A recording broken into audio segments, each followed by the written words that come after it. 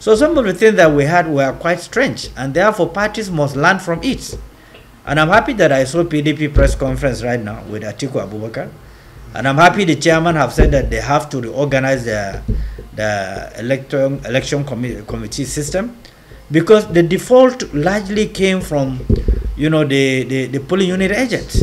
They couldn't produce substantive documents that are needed to determine whether the election was conducted or not because they would have also produced evidence that the BVAS have not functioned. But if you cannot establish such evidence, the court cannot go and get those evidence for you. You are the one to produce those evidence. So for me, this should strengthen our democratic process.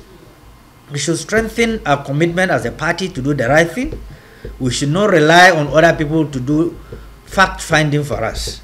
As an institution that have membership across the length and breadth of Nigeria, we should be able to get people that can feed us with facts, not just fictions. Uh, other area that I believe the the Supreme Court will add value to, to, to the whole issue is to re-strengthen the values and the fundamental principles uh, as enshrined in the Electoral Act, the Constitution, and the powers of the political party.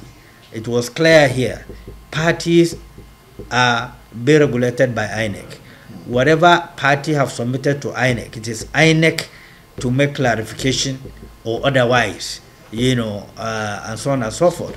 And also subsequently, the courts to determine whether you are, you are competent or you are not. But the processes largely have been offended. And I think that's what led us to where we are today.